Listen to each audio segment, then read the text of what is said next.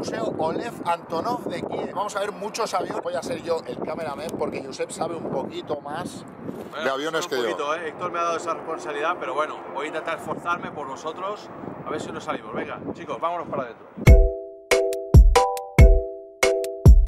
Estamos aquí en la entrada, haremos una ruta lógica más o menos de todo el recorrido para intentar ver pues todos los aviones. Mira Héctor, la- la- los precios son siguientes, ¿vale? Vale 50 rupias, ¿de acuerdo? 50 que son un euro y medio aproximadamente. Después si queremos entrar en cada aparato son 5 por aparato, ¿de acuerdo? 5, 5, 5 y ese vale 10. Es un suplemento de 25, ya te lo pone aquí. Lo pillamos, Yo ¿no? cogería el tour completo, son tanto. 75, que esos son 2 euritos, está bien, ¿no? Vale la Hombre, pena. dos euros, bueno, pues entonces no, no, no, tío. ¿No? Dos ¿Vamos? es Pues yo- mucho, ¿eh? Dos euros. Venga, vámonos. Entonces.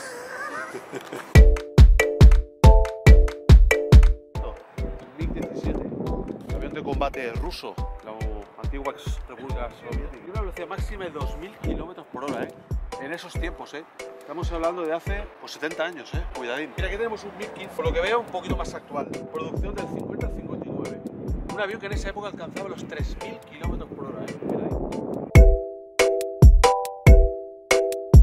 La parte de helicópteros, a ver, unos cuantos helicópteros. CCCP, qué guapo, tío. Este te lo encuentras ahí que te viene y parece un insecto, ¿eh? Te mueres del susto. Es el, el- el helicóptero Punky. Eso de ahí hace mucha pupita, ¿eh? Eso hace una pupita, pero... Qué miedo. Tengo miedo, tengo miedo. Un Antonov 26 de transporte. Un Antonov también, ¿no? Una H71.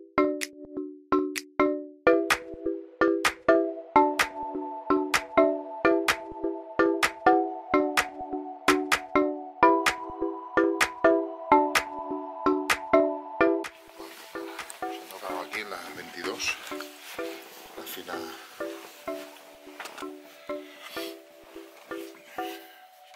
No son muy anchos. Pero bueno, iremos cómodos. El vuelo es corto. No llega a... ¿cu- ¿A cuánto tiempo el vuelo este? Eh, Unos dos minutos. Voy a comprar. Un poco antiguo, ¿no? Sí, pero aquí en Mercado de Ocasión. Bueno, aquí vas a comprar. Vamos a ver eh, la cabina, ¿no? Del piloto. Sí, venga. Un Jack 40, ¿no? Que se, se puede visitar por dentro, ¿no? Producción del 68 al 81.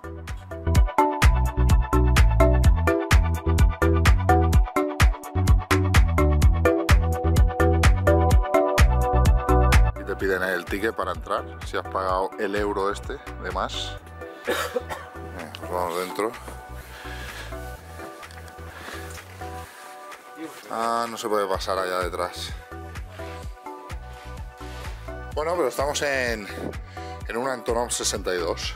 Bueno, Héctor, estamos en un Antonov 62, un avión con una capacidad de casi 190 personas y estamos en la cabina de pilotaje. Una pasada, ¿eh? Poca broma, un montón de mandos, ¿eh? De estos. De todas maneras, también te digo una cosa, ¿eh? La tecnología soviética yo no sé, pero estamos en el museo de Stalin y, y el hombre iba en tren. No se atrevía a montar en aviones. Pues los rusos son, yo creo que pioneros a nivel mundial, ¿eh? En aeronáutica. Sí, pero que Stalin fuera en tren y que no se subiera allá arriba. Bueno, actualmente el líder no coreano tampoco sube en avión, también va en tren. Sí, pero a ese le meter un bimbazo a la que pueda.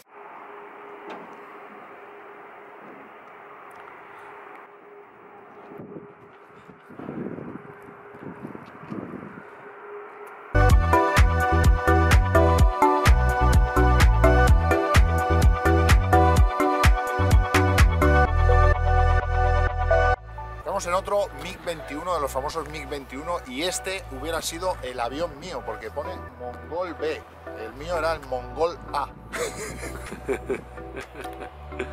Tico Tupolev, Tupolev 13, 134.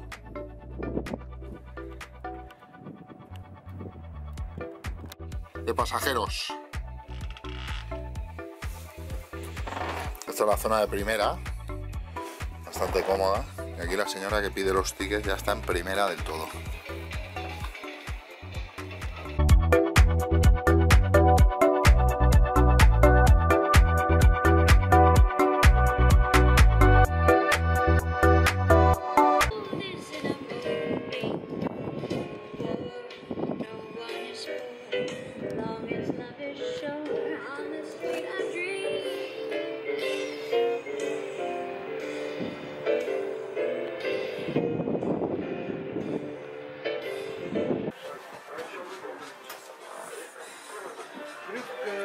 Bomba atómica.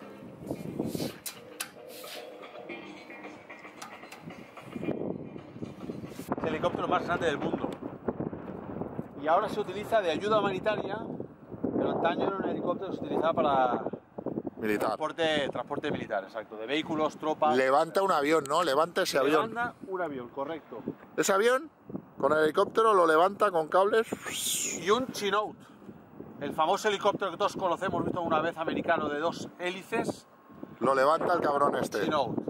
Fuerte. Impresionante.